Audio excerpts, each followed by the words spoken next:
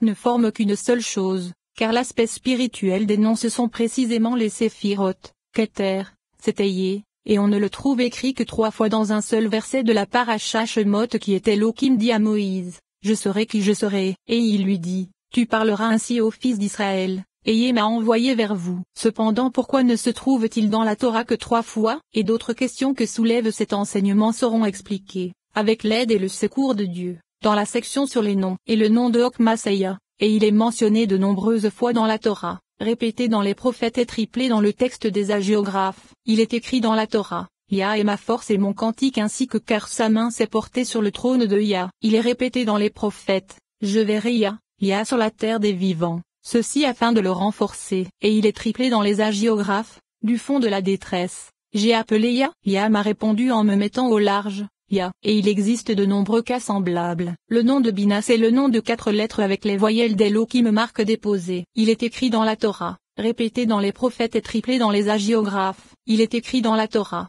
Adonai Yahvé, à quoi saurais-je que j'en suis possesseur?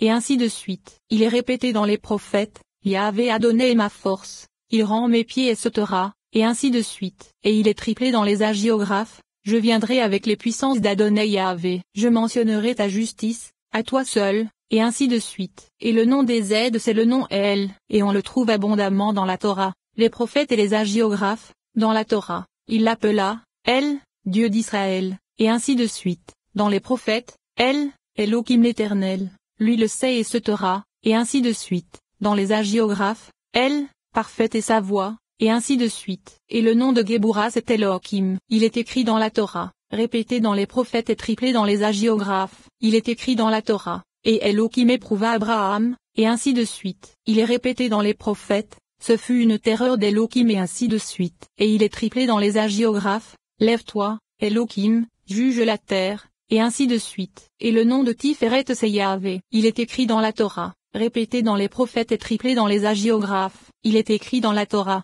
L'Éternel dit, l'Éternel parla, et ainsi de suite. Il est répété dans les prophètes, ainsi parla l'Éternel, et ainsi de suite. Et il est triplé dans les agiographes, l'Éternel m'a dit, tu es mon fils, et ainsi de suite. Et le nom de Nezza, tu ne le trouveras que si tu l'associes au nom de Hod car les deux n'ont qu'un seul nom, et c'est Tsebaot. Il ne se trouve pas du tout dans la Torah, mais se retrouve abondamment dans les prophètes, ainsi parla l'Éternel des armées, et ainsi de suite. Et il se retrouve abondamment dans les agiographes, tes hôtels, éternels des armées, et ainsi de suite. Et à propos de Yézod, tous les commentateurs postérieurs ont expliqué que son nom spécifique est Élé et la difficulté du fait qu'Élé ne fasse pas partie des noms que l'on ne doit pas effacer, c'est que le mot armée n'est pas saint comme cela apparaît dans le traité chez Buot, car il n'y a qu'il qui soit un nom, et le nom El, qui est saint, est emprunté à Ezed en tant qu'appellation. Et Rabbi Abba a mentionné cette opinion dans le Zohar sur la paracha Veikra. Essai, le sixième et le septième sont appelés Zevaot, le huitième c'est Elé,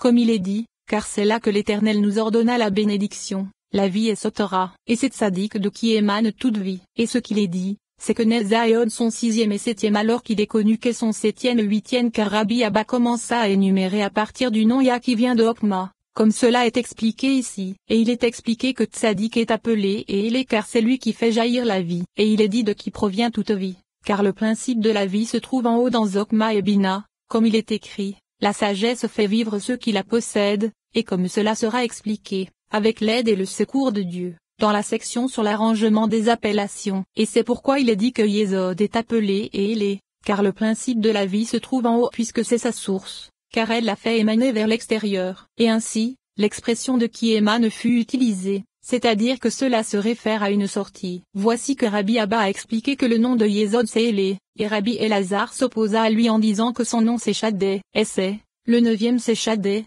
car il dit au monde assez. Assez c'est la satisfaction, et la satisfaction ne vient au monde qu'à partir de Tzadi car c'est le fondement du monde qui dit au monde, assez. Et puisque le nom Shadé posa problème à Rabbi Elazar, il expliqua qu'il dit assez au monde c'est-à-dire qu'il le limite puisque ses limites sont extensibles et se déplacent jusqu'à ce qu'il lui dise assez. Mais cela ne justifie pas Yézod.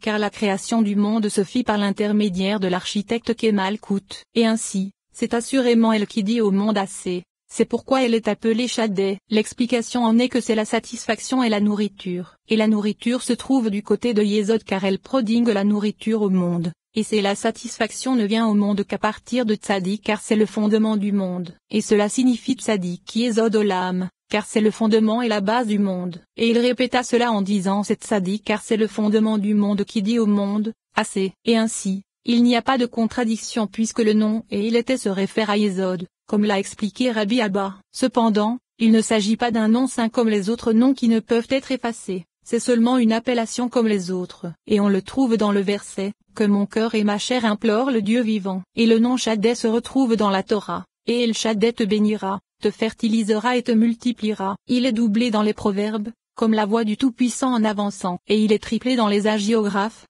le Tout-Puissant sera ton trésor, et le nom de Malkout s'est adonné. Il est écrit dans la Torah répété dans les prophètes et triplé dans les agiographes, il est écrit dans la Torah, que la force d'Adonai s'étend de maintenant, et ainsi de suite. Il est répété dans les prophètes, Adonai a lancé une parole contre Jacob, et ainsi de suite. Et il est triplé dans les agiographes, Adonai, ouvre mes lèvres, et ainsi de suite. Et il apparaît grâce à la Mazora à 134 endroits. Et la signification de cela, tu la trouveras dans le commentaire de la Torah afin de renforcer mon discours. Au début, il est dit que ce nombre correspond aux lettres initiales et finales des mots Orient, Occident et Midi, afin de dire que ces trois directions sont scellées par le nom du Saint béni soit-il, et ainsi, que là est l'expression de la fermeture, comme à Clay. Mais le Nord ne l'est pas du tout car il est ouvert pour se venger des méchants. Et dans l'avenir, le Saint béni soit-il nous dévoilera la source du nom, et tu trouveras d'autres explications de cet enseignement. Et ces dix noms sont des palais pour l'aspect spirituel des séphirotes, et cet aspect spirituel révèle l'aspect spirituel intérieur qui se trouve dans chaque séphira et qui est indiqué par le nom de quatre lettres. Et ce sujet,